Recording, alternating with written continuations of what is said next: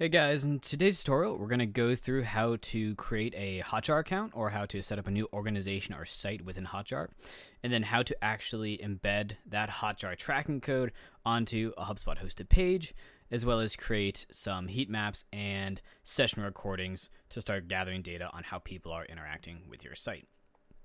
So, to give you a brief overview of Hotjar, so essentially, this is a great website uh, that lets you understand um, where people are clicking, how they're browsing your website, where they're really scrolling. Um, you can even even use it to gather feedback on um, maybe some new product that you've just released or some new uh, interface you just released, or maybe you did a rebrand and you want to know are people really enjoying it or they're not really enjoying it. So, Hotjar uh, is a really powerful tool um, just to see where people are actually even just clicking. Let's say I was really wanting to click on this dog over here.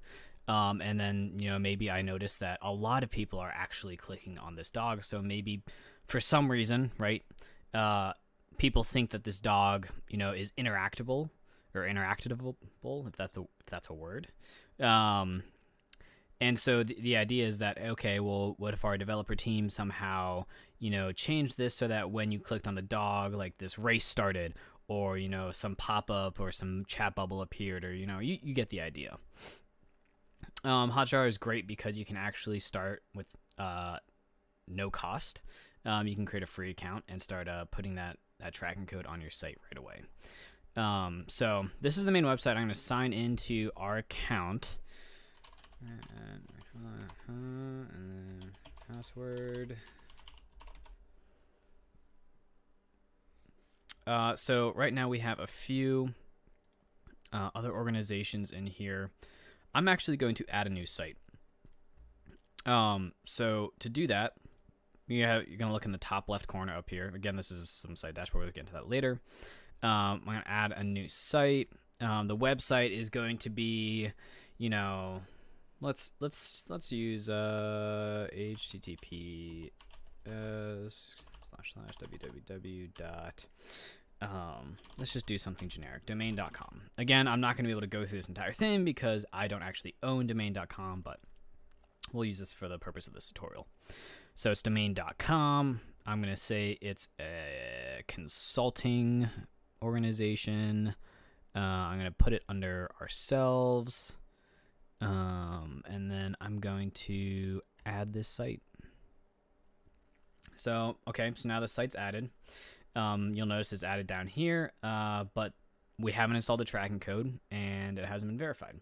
So I'm going to click on this tracking code button right here in the row that is the domain.com. And then I'm going to copy this. So this is all of the Hotjar tracking code that you're going to need to start uh, creating heat maps and session recordings. Um, notice we'll say paste the Hotjar code into the head of every page you wish to track visitors and collect feedback, and then verify your installation. So step one, I'm going to copy this. I'm going to go over to HubSpot, and then I'm going to go to the portal settings. The left side, I'm going to go down to website, go to pages, you know, and let's pretend that I was, you know, hosting domain.com on HubSpot. I'd find site header HTML. You know, maybe there's other tracking codes here. I'm going to ignore those. And then I'm going to press space and I'm going to press Control V to paste it in. And so that is the Hotjar tracking code uh, for the site domain.com. Um, I could press save. That would go to all pages and all domains on whatever this HubSpot portal is. And then once that is there, you know, you can even go into, you know, that page and inspect the page and find this script here just to check. Um, but you can also then go back here to Hotjar and verify the installation. And so what's going to happen is I'm going to enter, or it's going to auto-populate that uh, website URL that you gave earlier. And what's going to happen is when you press verify installation, it's going to open this pop-up. The pop-up is just going to be that domain that you entered. Um, and so basically the idea is that it's going to check this page and verify that the Hotjar script that you added to this page is now on here. So assuming that you know I own domain.com and I added the the correct Hotjar tracking code, um, I would get a nice green check mark, and then this would go from excuse me, this would go from a nice orange to you know a pretty green to verify that yes I am now able to start tracking. Um, but obviously I cannot do that. Uh, but then, okay, well, let's assume that, you know, domain.com is live, we own it, the tracking code is all hunky dory. Um, I'm actually going to want to go and, you know, let's make a, a heat map, right? Um, so to make a heat map, I'm going to go into this heat maps tab right here. I'm going to create new heat map. Uh, I want to name it, you know, let's say we wanted to do a heat map for the homepage, right? Pretty basic. It's the first thing people are going to see. On a free account, we have to use the basic settings. Um, we're going to do a specific page because we're doing a homepage heat map. And that's going to be something like https colon slash slash www dot, you know, homepage.com, right? Keep it as simple URL match. And then I'm going to create the heat map. So basically what's going to happen is assuming like all this is in the correct account, right? Uh, as soon as people start visiting, you know, homepage.com, Hotjar will start tracking, you know, how far down they scroll through the page, um, you know, what they click on, what they don't click on, and really where people are actually uh, getting to on that page. You know, here's uh, an example of, you know, a page.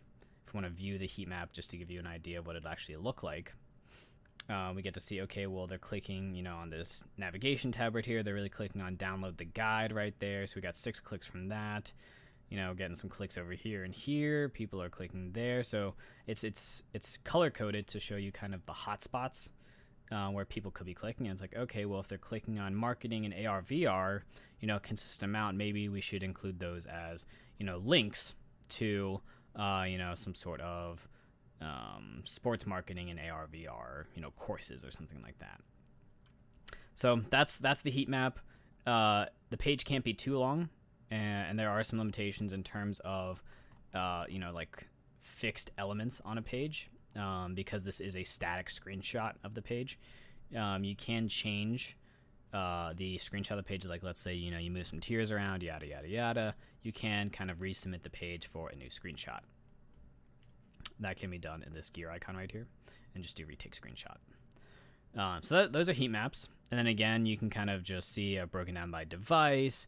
You know, you can choose, or do I want to filter by clicks or, you know, mouse movements or just, you know, how the, the scroll heat map is in terms of, you know, do people even get past, you know, the hero banner and what's the drop off, you know, from hot to cold.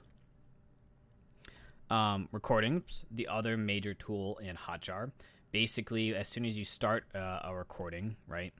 Um, again, on the free account, you get 100 recordings at a time in batches of three because you have a max of 300 recordings that you have available to you. Um, on this account, we'll do it where they visit any page.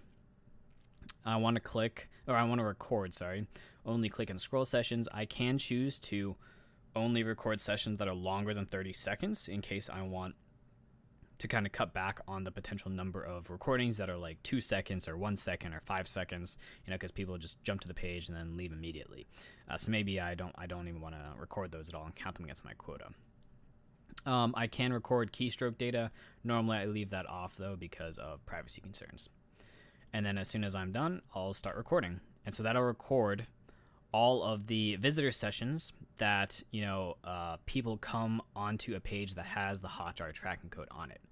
At the end of the day, you can watch all of these recordings and get a better idea of how specific pages are working, or just get a better idea of okay, well, when someone's visiting, you know, eight pages, what does that actual you know customer or applicant or donor or you know consumer journey even look like from you know point A to point D right? And so you can kind of watch the actual journey uh, they take um, down your funnel potentially.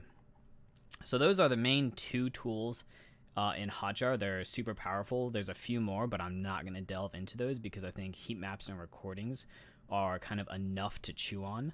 Um, and they're pretty easy to set up. Again, if you're on a free account, you still have a lot of capability here. Um, it's just a matter of actually making sense of the data and making sure that you kind of uh, dedicate time to reviewing, you know, potentially hundreds of recordings and really taking a look at those heat maps that you set up uh, and make changes as needed.